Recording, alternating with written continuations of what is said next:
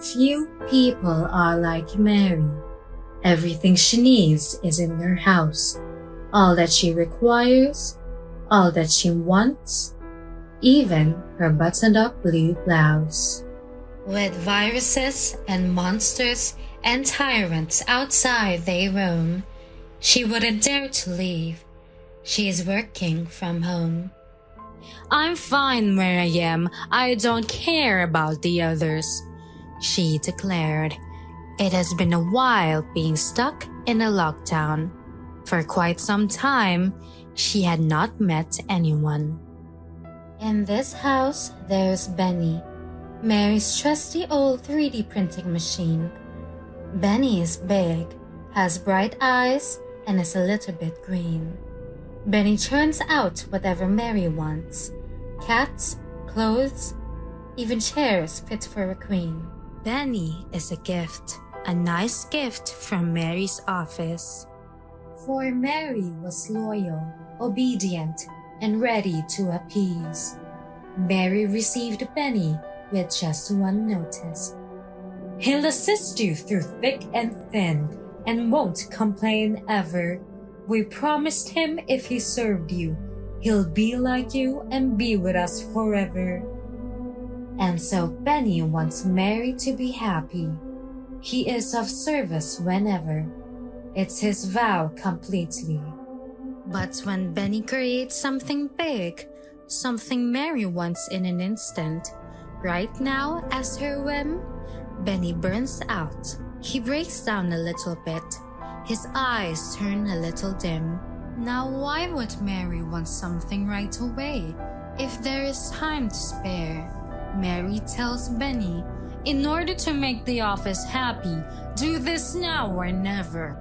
Mary wakes up, hearing a different click. She looks beside her to check on it real quick.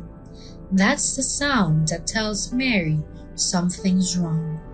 The sound is faint, but in her mind, it sounds like someone hitting a big gong.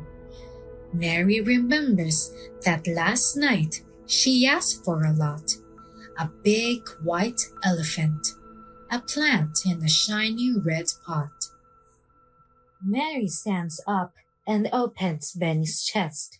She sees a small cog not doing their best. Aha!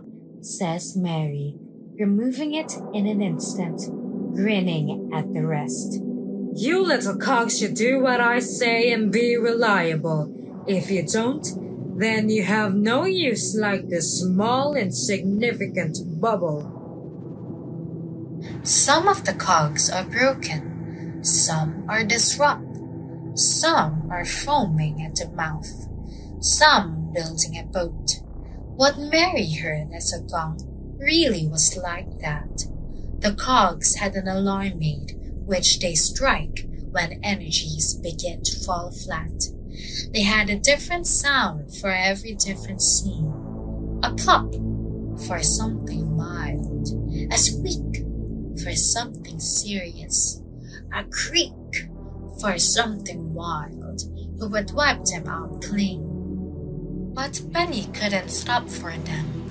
Benny cannot falter. He remembers the promise do what Mary wants, then you'll be with us forever. Lucky for Mary, she doesn't need to go out to find a replacement. She has everything stocked up right in her own basement. Mary goes down saying to herself, Talking to people is such a bother. That's why I have Benny and no other. In her basement is a big box filled with nuts and bolts, gears and cogs. Each one has a different face, a different color, stacked in a nice way, as Mary prefers, control and order. Some of these cogs are given, some of these cogs are bought. Mary makes sure each one gets bitten, so I know that it's real, she thought. All these little things can fit inside Big Green Benny. They turn and spin, they go around merrily. Did they choose to go that way? Be part of something big. That's what they'll say. That's why they're working night and day. They recall when Benny too was a cog, a little dude who toiled his way.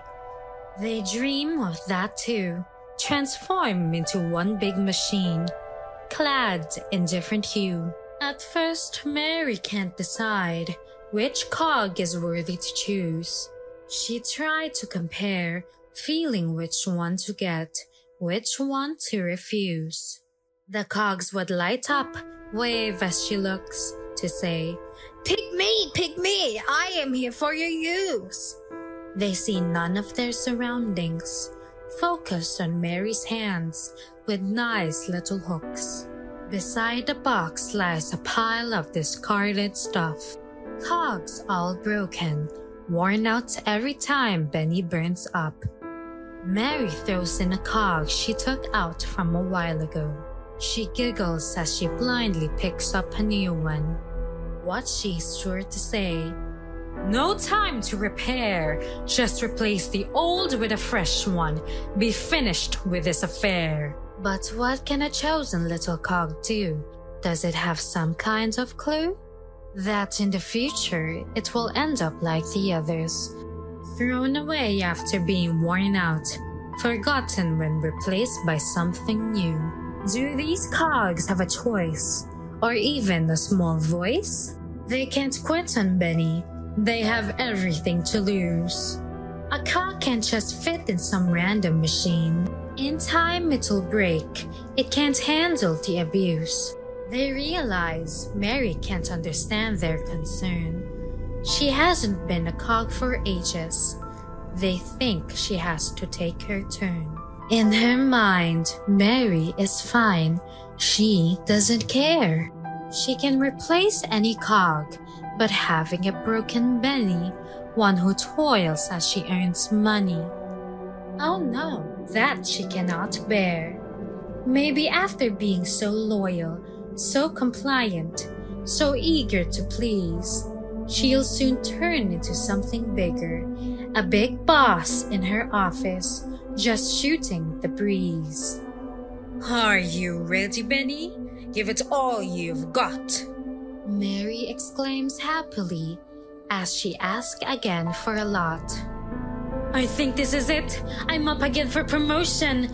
I want to get a new 3D printing machine, a new car, and a bigger budget allocation.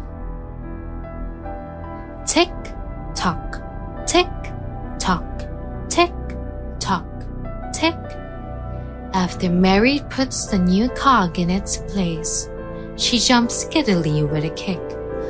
Benny's eyes turn bright, his insides turning nicely, and everything was sleek. Tick tock, tick tock, tick tock, tick. Benny smiles and thinks this is his chance too. Since he fulfilled all of Mary's wants, maybe he'll transform just like her. Be with the company forever, because that was the promise. That was his due. Tick tock, tick plop, squeak, plop, creak.